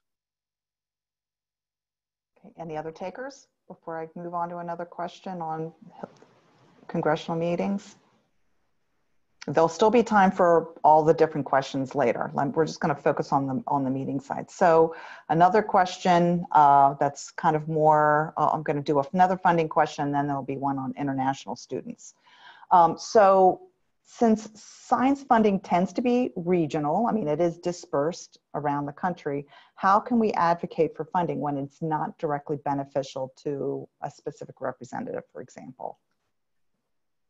Matt, do you want to take that one first? Yeah, I could just quickly take that. I mean, and the others I hope will jump in, but I mean, I think Toby actually just said it. I think, um, you know, it's obviously there. Every district is facing lots of different issues, and you know, there may be easy ways to tie your research directly back to some of those. Um, if your research is not really super relevant to immediate issues that are happening at home, uh, well, that means, I mean, the benefit of science funding maybe isn't, maybe it's not your district, maybe it's you, right? Maybe you are you are the constituent. You are the beneficiary.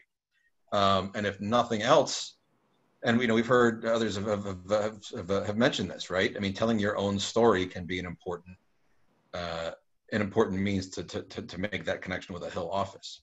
Um, you know if your district happens to have a whole lot of you know i don't know particular industry that benefits from from science funding of some kind and that's what you do great. That's a, that could be a great story to tell. But if you don't need that kind of a you know broader socioeconomic connection to make a really good case for why your own legislator right your own member um, you know should be supporting uh, a, a program that you care about um, because of the fact that you are their constituent. Um, and you know maybe it's enough that you know you want to make a good contribution to society somehow you know, uh, you know, I mean, talk about what you what it is you you do and what it is you hope to achieve. I mean, that's the kind of thing that that can help. Um, but then, you know, in addition, you know, as, as Joanne mentioned, I mean, there's you've also do have there's your own kind of home legislators office. There's also the authorizers, the the, the committees, that uh, committee staff that um, you know are, are going to be more in tune with, uh, you know, you know, perhaps a broader set of issues that don't have that same geographic linkage. So. Um, but that's what I say, right? If, if, it doesn't benefit the district, well, you are the district. So. Joanne, can I add one other? Sure, go ahead, Toby. One is always remember too that if you if you grew up somewhere and you go to school and you get a grant, your your parents benefited from the fact that you got funding. Remember where you where you grew up because I grew up in a rural area. It's more conservative. Sometimes there are linkages back there. More importantly, though, remember that the outcomes of science are what matters. Every if we find a vaccine for coronavirus, every American citizen will benefit. It doesn't matter where it came from.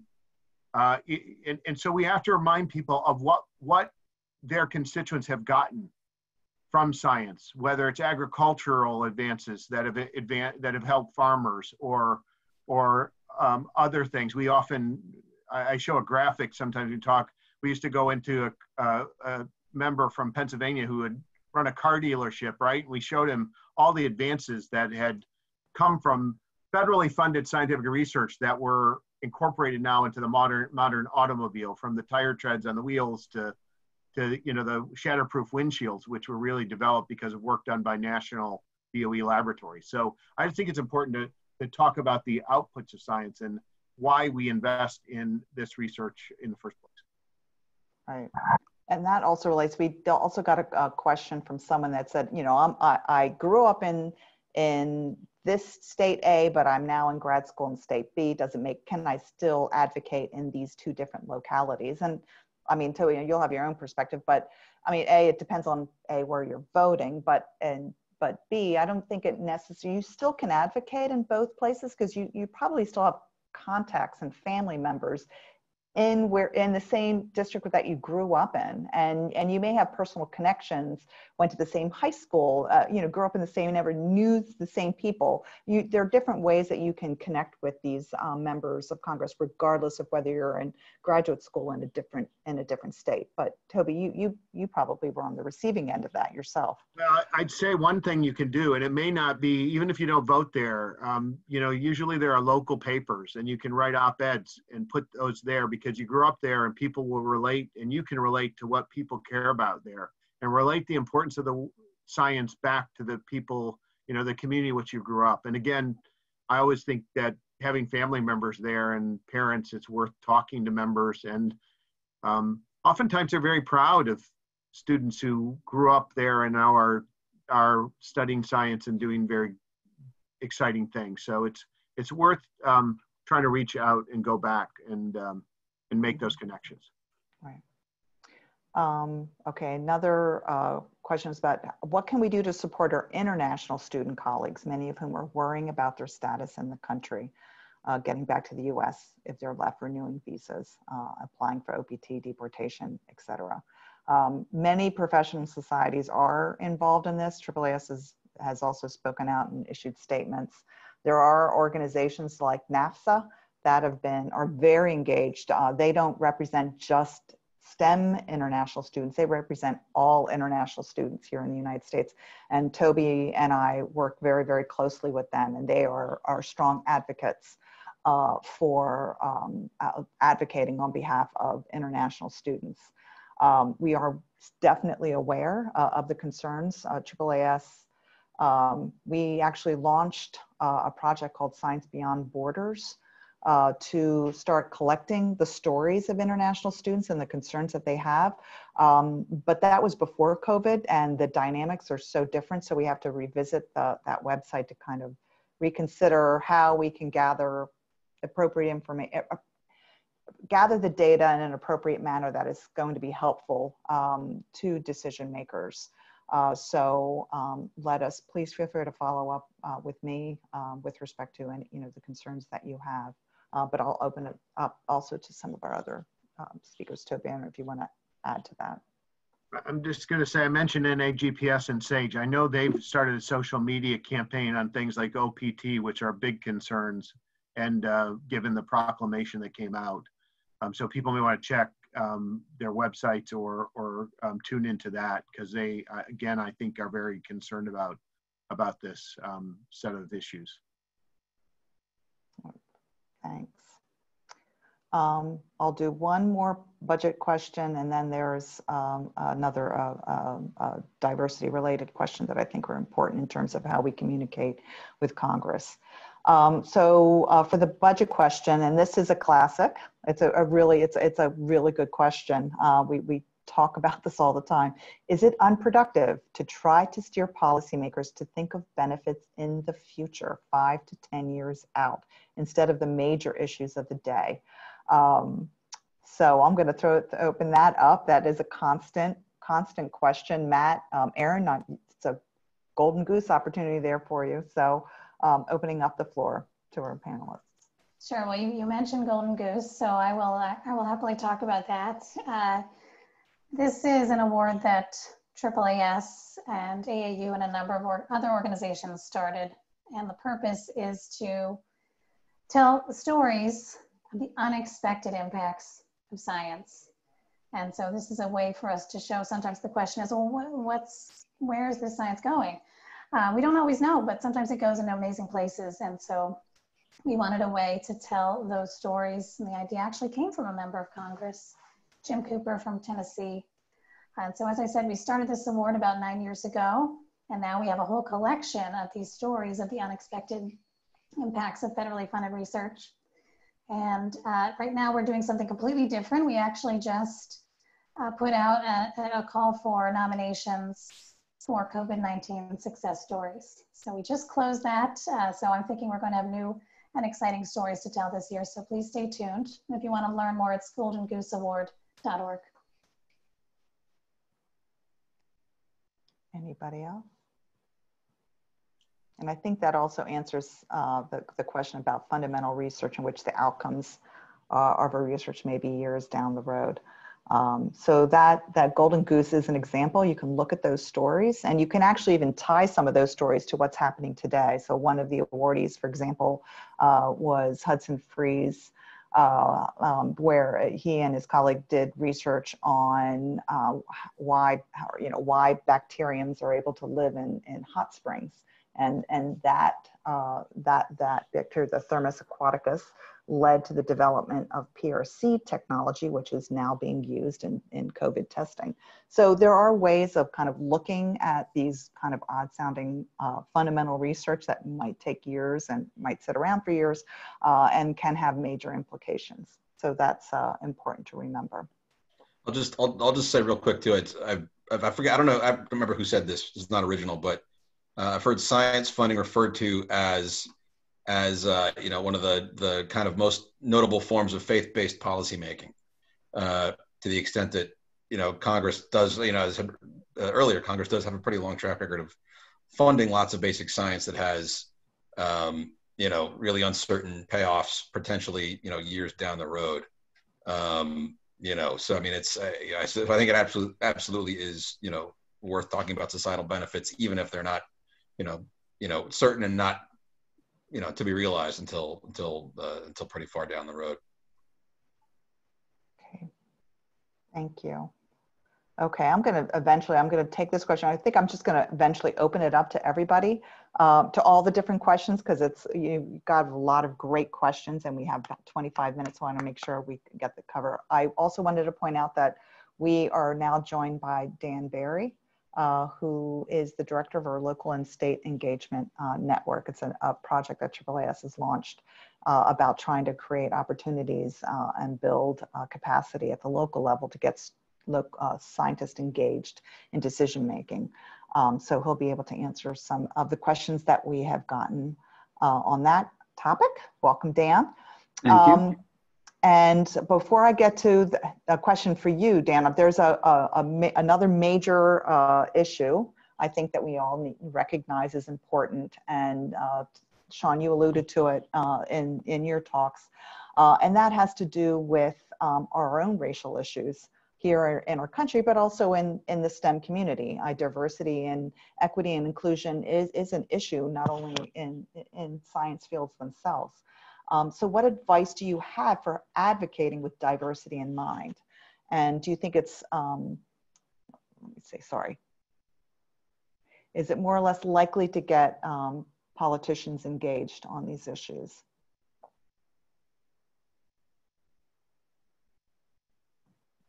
I, I can take a, a, stab at this one to start. Um, AAAS right now is engaged in a diversity, equity, and inclusion report that we're going to put out pretty soon. Um, and what we did basically is we took this issue of diversity and we asked people all across the spectrum in science policy during their history on, on, on science issues what they thought worked in terms of messaging when people were talking about this. And of course, you can go to AAAS's communications uh, department and we give tips about how to communicate topics like this to various people. And the one thing you want to keep in mind when talking about diversity is who's your audience. You know, if you're talking to um, someone from Brooklyn who's who's you know a member of Congress who's on this issue constantly, they're going to have a different set of ears listening to this issue than someone from say Kansas or Oklahoma or where I'm from, Indiana. So audience is a big thing there to think about and what resonates. One of the messages I will say that I think is pretty important when talking about the diversity issue is not just talking about the moral one but also talking about the practical effect of it. Um, there is a definitive return on investment of having a diversity of people and ideas that produce better outcomes. Um, the analogy that people like to use is fielding the best team possible. You can imagine that if you have a baseball team or any team where everybody only comes from one bent or one ideology or one kind of background, you're not going to have the best results. The best results yield from people from all walks of life, from all backgrounds, from all issues, from all diverse walks of life that then produce the best kind of outcomes. So diversity in, in terms of the diversity of ideas yields the best results for this country. Uh, and in a sense, people have actually proven through some scientific literature that is why America innovates better than others, the, this free exchange of ideas and people. Um, and so I usually try and talk to folks about audience and then also different approaches to talking about diversity in terms of adding to the what people would consider the justice or the moral arguments. Jo Joanne, I, I, I have something to add, and it's a little bit le less about impacting policymakers on that one, but more about understanding our own biases. And, and again, I, I want to call out a Golden Goose Award winner. And these were the researchers who discover really identified and, and then created the implicit bias test and really dug in deep and tried to understand these biases that we all maintain that many of us don't know we even have. And I think this is a time when eh, I think people in the scientific community and many people like myself who are white males who've probably had it much easier than many, it's worth looking at that science, that scientific work, taking the implicit bias test. We're talking about doing that as an office and then having the discussion because I think it's important for us to realize that we are shaped by our own lived experiences and we understand it. But this is again an example of where social science in this instance has helped to inform us, to help us, I think, become more aware um, and and and in this time something that is a tool to to better understand uh, some of the challenges and biases we all hold. Right. And AAAS, we actually held a, a, a workshop a number of years ago on implicit bias with uh, with pub, the publishing community and the federal research community it was an opportunity. And we had and we all did that test. It, it's amazing, um, but it was an opportunity for publishers to kind of share their data, like kind of like share kind of what they were seeing in terms of the biases that they saw play out as they were considering research articles and what to publish and trying pilot programs to, to incorporate like double blind or triple blinds um, into the system. Because it isn't just about, you know, there's even implicit bias with respect to research institutions. It's not even just about gender and race. Um, it, it's it, it, comes at lots of different levels, and the research community need, needs to work really really hard at that. Um, and, and research agencies also, uh, you know, were kind of looking at how they could uh, make, a, you know, uh, positive changes or try out pilot programs to improve um, the grant proposal process um, without, you know, they want to, you know, kind of maintain and respect the merit evaluation process, but they also kind of recognize that they need to, you know, protect against implicit bias. But there's a lot we need to do. I, I think AAAS, we're going to be spending a lot of time um, given this past week to talk um, amongst ourselves about what more we should be doing as an organization, but also as part of a community. We tend to think of ourselves as just, you know, the scientists and we're part of the science, but we're all part, parts of a community as well.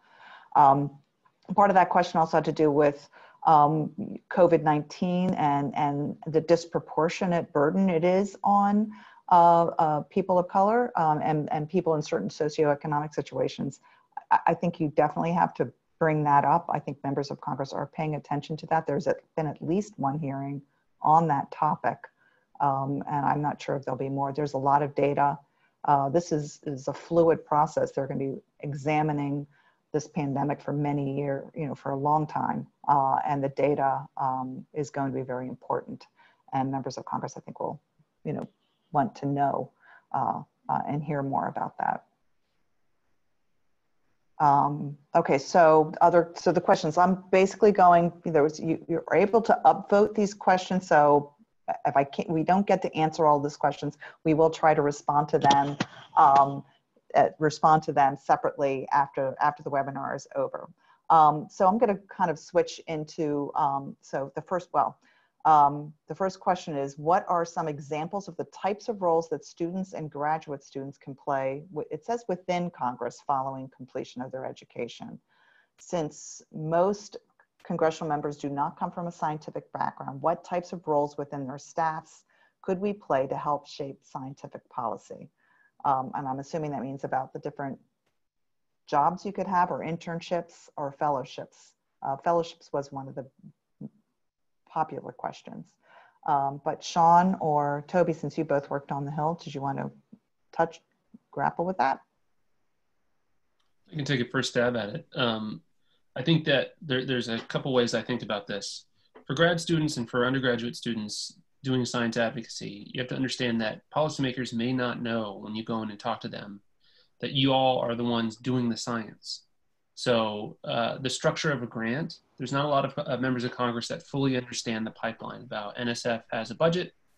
They dole out grants on a merit review process. The grant goes to university, university has a PI, and they have students doing research with the you know full-time faculty. That entire process not always clear to members of Congress. So there's an educational component going in and saying, hey, look, if you're a graduate student and you're receiving a grant, um, explaining what your grant is, how you got it, you know, what, what kind of research you're going on, and then you launch into, you know, why should you care?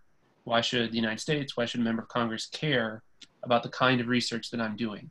And so you tie both the educational component about what, who you are, what you're doing, and then also with the impact that you could potentially have. Um, and just to touch on, you know, a lot of people have asked us over the course of the years, and I mean, this is why AAAS exists in, in some sense of defending or justifying or explaining the vital importance of basic fundamental research. So a lot of folks come to us and say, hey, look, I just do fundamental research. It's not applied. I'm not working on anything like product specific. How do I justify what it is that I do? And AAAS has just an unbelievable amount of resources that detail um, through stories, through compelling examples and narratives, the serendipity and all of these things that come out of basic research, the life that we live now. Why is it better? Because some student like yourself, some postdoc like yourself, some research assistant like yourself was fiddling around with some kind of exploratory thing in science funded by the federal government that has now made all of our lives better. Um, it's these kinds of stories that resonate with members of Congress because they do, in a sense, really want to tout the success of America. Uh, you know, what makes us better? What makes us exceptional? What makes us continuing to, to progress? And so I often look at graduate students and researchers. Sometimes you guys come with insecurities to us. You know, how do I justify? And I say, hey, look, you guys are the ones that have the best examples ever. The work that you do makes all of our lives better in very concrete, tangible, relatable ways. And so that's kind of how I approach it in, in that kind of progress, that progression. I'll, I'll just I'll just add I you know in terms of I mean there are certainly job opportunities. I mean folks with science backgrounds can go get a job and not it doesn't I often say people look at the, the, the they think the only way to get a job in Congress is to get a who are scientists is to get a AAAS fellowship. There there are people who just go and apply for jobs in Congress and actually get them. That's how I got my job right out of school as an undergrad. So somebody with a science background, um, you know, there are certain committees, the science committee, they look for people with PhDs and they look when you're ready. And if you have a crop of fellows who are in the middle of their fellowship, they may not have a fellow they can draw upon. So don't always think you have to get a fellowship. I often say just apply for apply for those jobs. But I also say, you know, there's there's great value in in in in being engaged before you ever look for a job. You may not ever want a policy job, but students in particular have a huge impact. I often say that when I worked for MIT in their Washington office, um, I could take the director of the Fusion Center in, and uh, it was hard for me to get a meeting for him. It was a $35 million um, center. In fact, with Senator Kennedy's staff, I could never get them to call back when I tried to get those meetings. However, when the graduate students wrote and said they were worried about their future, I got a call from that staffer who said, I need to, who, who's a graduate student who will organize this letter? Because I need to talk to them because Ted Kennedy cared a lot about students and he saw them as the future and they wanted to respond. So don't underestimate the value. I often think students are, are just as important for, and, and again, the student vote was, was as important as the lab director's vote and, and uh, frankly, they brought a lot more students with them in terms of that importance uh, uh, than maybe the lab director did. So I just say that, that don't underestimate and don't think that Congress is the only way to affect policy. There are other positions. You can work for the Government Accountability Office in their Science and Tech Division, and that affects and helps Congress. You can work for CRS, uh, where a lot of PhDs do. There are other places you can work that also impact policymaking that are just valuable. Thanks, Toby. And, and you know, the, the, our discussion has been primarily focused on DC and Congress, um, but there are a lot of decision makers at the local level and don't think that you cannot uh, be engaged uh, at, at decision makers in your state. So I'm going to, this is kind of leads into the next question. I'm going to incorporate kind of two different questions. One uh, is at the local level, which elected officials, whether commissioners, mayors, et cetera, tend to be the best to communicate? In other words, who's really going to listen? And you're going to get a result or an actual outcome. Um, or is it just based on their aims or the position that they hold?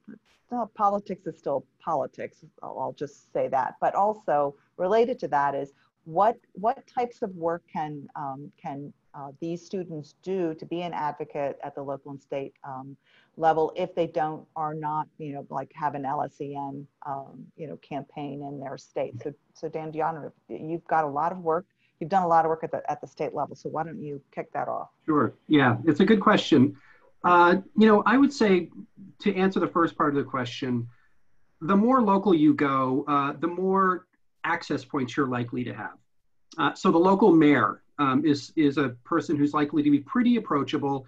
Um, and also because you live in a community where you could walk or ride your bike or somehow otherwise get to public meetings, you have a lot more opportunity to, to uh, work in person with uh, city council members or county commissioners who represent your community, your neighborhood.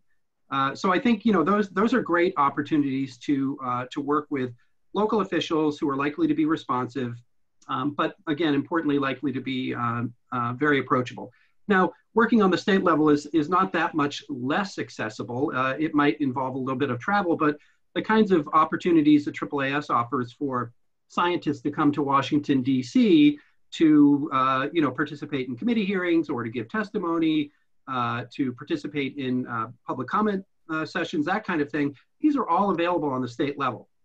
and again, as constituents, your, your ability to open a door um, is really powerful. If you combine that with the expertise and the care that you have for your community and for important issues around science and policy, um, my sense, and we're looking to prove this through the local science engagement network, is that we'll be able to build very active conversations um, through engaging with local and state level lawmakers. A lot of what you've learned over the last hour and a half or two hours here in terms of communications and advocacy and engagement um, apply equally as well to state level officials or local officials. It's about building relationships. It's about understanding how to communicate effectively. Um, also, I'm willing to bet that the majority of local and state level uh, elected officials are, are like members of Congress in terms of not having a tremendous amount of scientific training. The critical difference, however, is that um, local and state level elected officials have far less money and staff to work with. Uh, our pilot project in Colorado, um, I happen to know that state legislators in Colorado have um, a budget that affords them a 0.25 full-time equivalent for their personal staff, a quarter of a person. And so, you know, to cover the entire range of policy issues that they're considering, um, science just does not does not rise to the level of um, having a, a, real full voice uh, for a particular member of the Colorado state legislature. So how in Colorado or any state, Missouri, another of our pilot states, or Georgia, where similarly they're going to face uh, staffing shortages and funding shortages for this kind of work. My sense is, and again, we're, we're piloting this project to prove whether or not the science community gains more power and more influence in these settings where uh, the elected officials have far fewer resources to draw upon. That's what we're hoping to prove. And um, you know, just again by way of background, this is a brand new project for uh, for AAAS, and we're really excited about the pilot program that we're testing in our three uh, primary states. But as Joanne said, we're we're keeping an eye on the future as well. How can we build a platform and build a set of resources that any scientist anywhere can use to build a relationship with their lawmaker, whether it starts with a particular policy objective in mind initially, or grows towards that. And so that's that's a, a, lot of the, the infrastructure and the, and the technical support that we're investing in right now. Uh, we will leverage the same exact kind of really high level quality training that AAAS and other science societies have offered historically on science communications, civic engagement, effective and appropriate advocacy, um, and then some additional stuff that you know uh, anybody could use some more training on how to engage with the media, how to lead a meeting, um, how to how to engage in a public comment period. There are some real specific skill sets that uh, most scientists don't learn in you know in undergrad or graduate or PhD classes. Um, and there, you know, I, I there, a lot of people use the well, it's like riding a bike. Once you learn how to do it, you just know how to do it. It's not just like riding a bike. It's more like playing an instrument. um, to do good engagement, to do good communications, you really have to get ongoing training and you have to practice, practice, practice. So that's, you know, that's stuff that AAAS has, has known for a long time. And it's a, a set of, uh, you know, it's an orientation that we're bringing into the local science engagement network uh, as well. So um, we're really excited to get it going and, and uh, you know, we'll, we'll get you more information uh, ongoing as to when we officially launch the national component of this thing, because I'd love to sign as many of you up as possible to get involved um, and use our platform to build relationships with your local elected leaders.